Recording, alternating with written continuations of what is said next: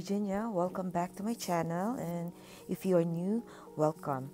Uh, I'm so grateful to all of you who have uh, come and joined me today and I'm so excited to finally be able to share this, uh, a flip through of this uh, two round tin mini journals that I have been working on for so long. So I have actually created uh, four tin journals. Most uh, basically pretty much the same but the other two I have used a different creators um, kits. So but I've also used uh, Heather's kits as I was pointing out on that one and I'll uh, share that in another video. And welcome to Ruby Tuesday. So for this uh, project I am sharing I created two mini round tin journals and as you can see it's a sun and moon uh, journal so I think I'll just explain as I go with the flip through of this. Uh, you know, if you are, and I know most of you are uh, Heather's uh, Ruby and Pearls um, fan, you know that she has that uh, La Luna kit, and that's basically my uh, inspiration for this. And you know, I have affinity for uh, celestial things, as you can tell. My social media name is uh, celestial in nature. So, but La Luna doesn't really have much of a sun, but I want to create a sun uh, themed journal to go with this. So, the way I created this is um, I used colors that mimics the sun or I think you know what I mean. So for what I did with the tins are I painted them, mostly the background, and uh, collaged them with or decoupage them with images from the kits. I think this kit was from the Raspberry Rose, and the main inspiration is that oh, Sole Mio uh, from I think it's a music uh, cover from the letters, uh, blue and green letters, and I've been wanting to do that since I uh, found that uh, image there. I was showing earlier the lid where the part that uh, meets the lid and the big part of the tin. I did not paint that because it will be uh, hard to uh, cover because it will uh, thicken if I paint that part on both sides. So I'm showing right now the painted image of a sunset. So on the back of the tin, I put the sunrise and here is a mixed media painting of the sunset where I used a tea bag. I'm trying to point out, but uh, I have the wrong angle. And I collage or decoupage uh, images of the birds from her, I think that's from the golden dress. I'll try to list them. On the cover, I did that rotating sun uh, feature. I forgot. I'm like uh, behind. So um, here's the flip through of the journal. So I'm showing there's a charm that uh, it's a metallic button that I added there as a charm for the closure. There's a very pale yellow and that uh, little brass uh, bird in a circle, kind of like mimics the one that uh, I painted. Uh. so for the cover, what I did with the journal is it's like uh, every sheet is a single uh, signature that I stitch or bind together using a it's a modified uh, two-hole pamphlet stitch. Um, I've been trying to re-record, re-record, trying to explain. So if you just have questions, just call, uh, ask in the comment. If uh, and right now I'll just go ahead. Um, I picked the image for the front cover, which is uh, from the Love and Light, of course. Uh, the title of the kit is Love and Light, and it goes with the theme of uh, the sun. So I think, and most of the uh, images and prints are inspired by the colors of the color of the sun, and uh, majority of the uh, prints are from her golden dress, and some from uh, the golden leaves, and I think maybe I have a little bit more from others that I picked the yellows, the browns, and uh, I mix in some uh, vintage paper, some uh, book pages in there. And this, I love this image from, I, I, am pretty sure that's from the Golden dress. Or maybe, yes. So on in here, I used um, the wax linen thread for the binding. I have a little excess there and I put a little wax seal charm. Uh, I pick up the color mauve from that image from the golden dress and added uh, rose hill paper, handmade paper as a tuck pocket. I'm showing a, there's a quote here that says something about greeting the day with creativity, gratitude, and something. So, images from the two kits I mentioned, a music paper. Um, I made a little uh, belly band there with a beautiful yellow lace. And I have that uh, yellow, vintage yellow ledger think from rose hill paper that I uh, decoupage a dried uh, chrysanthemum. Made a little belly band with a lace there that I tucked uh, my yellow handmade paper, uh, think embossed, and I was showing there. There was like little dots of uh, yellow punched papers that I incorporated in that handmade paper, and a beautiful image also from uh, a beautiful golden dress. I backed it with tea stained. The base of the signatures or the pages of this uh, book are scrapbook papers that uh,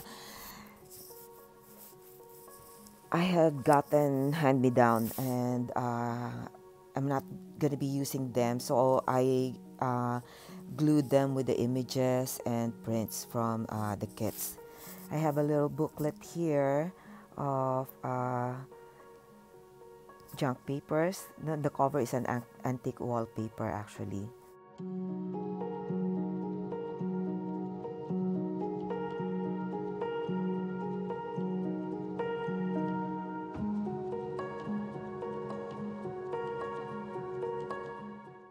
Showing here those are uh, the image uh, the whole image that I tore apart.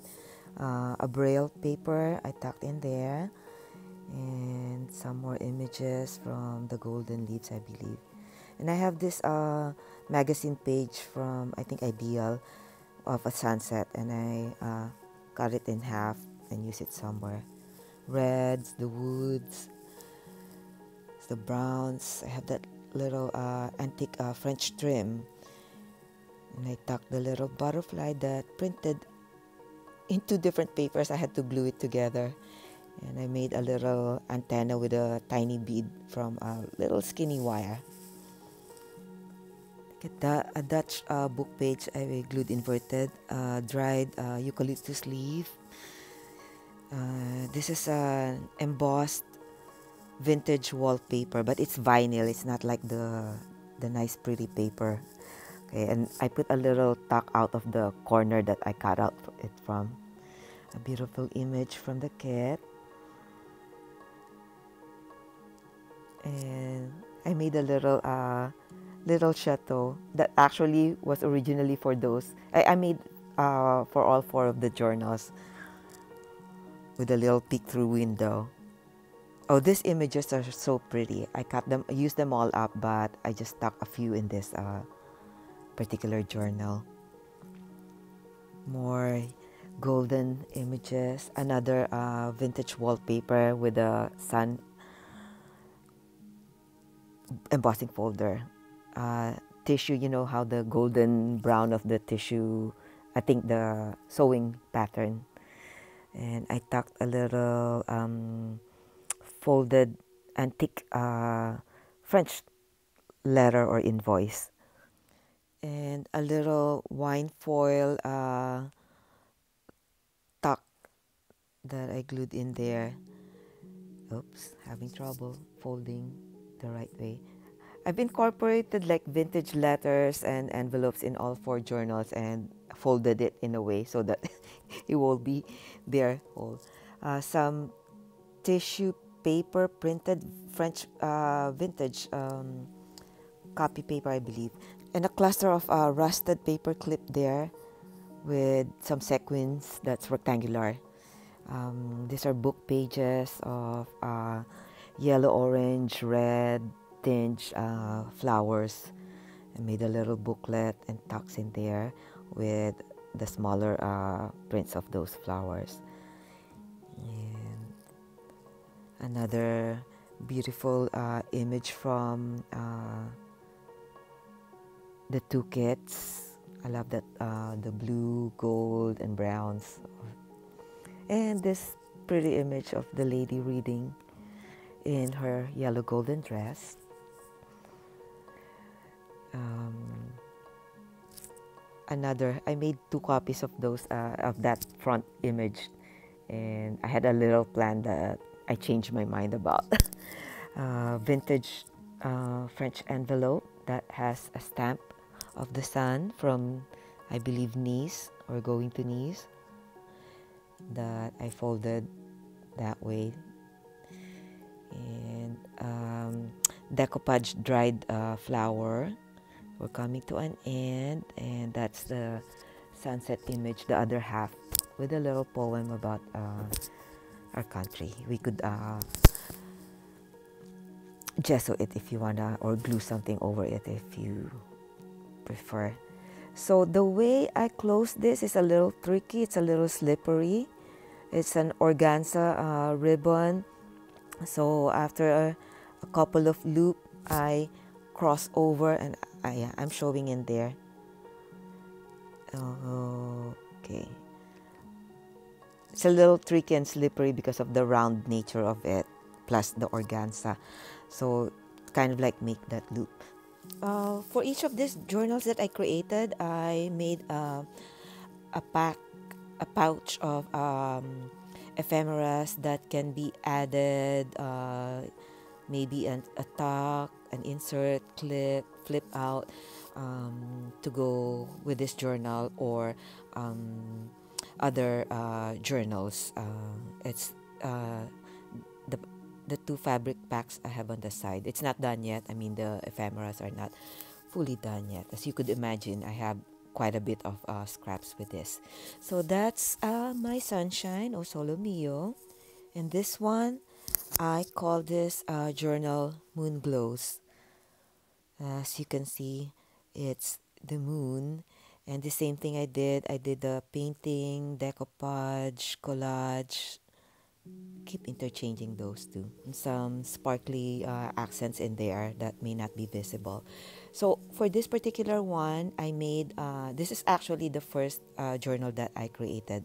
I made that um, little peekaboo spinning disc uh, feature with uh, the changing faces of the moon. And that I painted uh, watercolor. I could say mixed media also. I did a little bit of uh, embossing powder, which is something that I was so excited about. So I actually made a kind of a process video on how I created this uh, feature for uh, this four journals that I created. Actually, the three, and um, hopefully I could uh, upload it.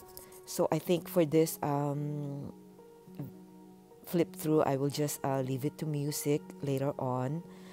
And if you just have uh, something you'd like to ask or to know, just uh, ask me in uh, the comment. Like what I said, I uh, recorded a process video. Hopefully, let me know if you want to see that because it's quite long also, and I have to like edit it. And also, uh, on this, it's kind of uh, since this was the first one that I made, it's kind of like my prototype. The tins actually have a nice uh, artwork in themselves. They have like in it's embossed metal, but I had to cover it because of the theme of the journal. So the inside, I tried to preserve it as much as I could, but it's the reverse figure. It doesn't show much, but uh, maybe try to uh, take pictures and post it on Instagram. So a little charm there the is a nice beat and a moon uh, a star and a moon like this this particular journal is the very first one I created out of the four. It's kind of like my prototype and I love it so much.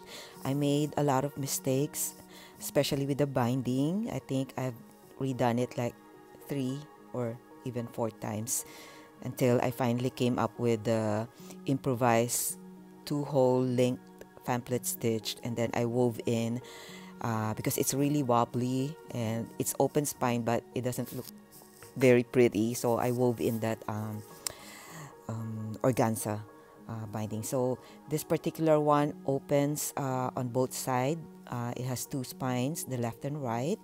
And I'm showing uh, let me just mention that it's the print from uh, William Morris the black print that I printed in three different papers.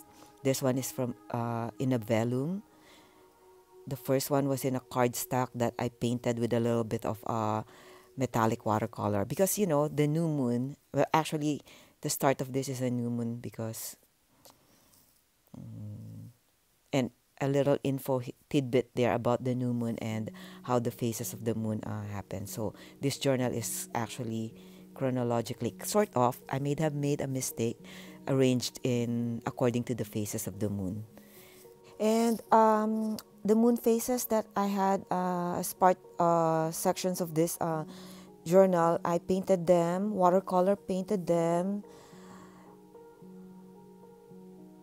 both the regular watercolor and some metallic watercolor on uh, uh, 300 GSM Arches uh, watercolor paper. So the back I did not cover it with any prints because they can also be used for uh, watercoloring or sketching. So I'll leave you to the flip through with the music and uh, just let me know if you have any questions uh, and I'll talk to you later.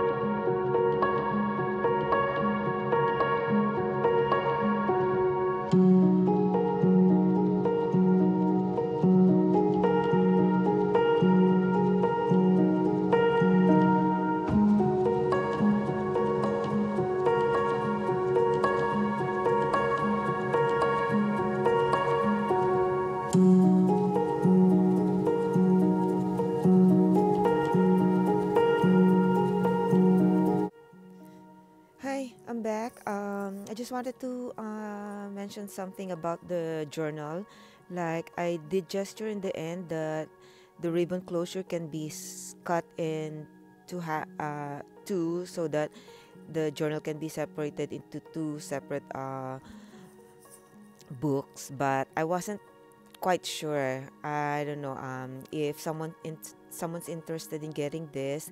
I could talk with you if you want to for me to permanently glue the last two pages so that it stays as one book or I'll leave the option with just paper clipping uh, on both ends so that uh, you have the option to split it eventually.